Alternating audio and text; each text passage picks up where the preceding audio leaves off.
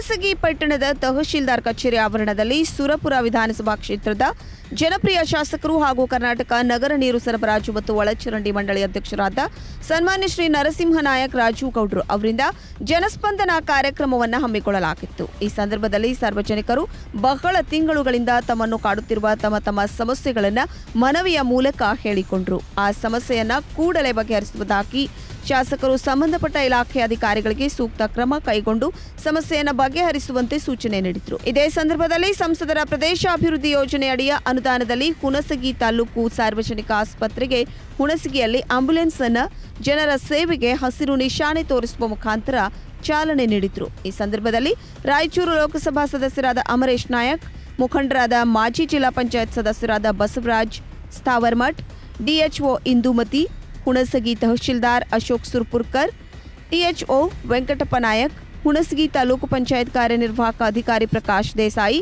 ಜೆಸ್ಕಾಂ ಸಹಾಯಕ ಅಭಿಯಂತರರು ಮೊಹಮ್ಮದ್ ರಫೀಕ್ ಹಾಗೂ ಸುರಪುರ ಹಾಗೂ ಹುಣಸಗಿ ತಾಲೂಕು ಮಟ್ಟದ ಎಲ್ಲ ಇಲಾಖೆಯ ಅನುಷ್ಠಾನ ಅಧಿಕಾರಿಗಳು ಉಪಸ್ಥಿತರಿದ್ದರು.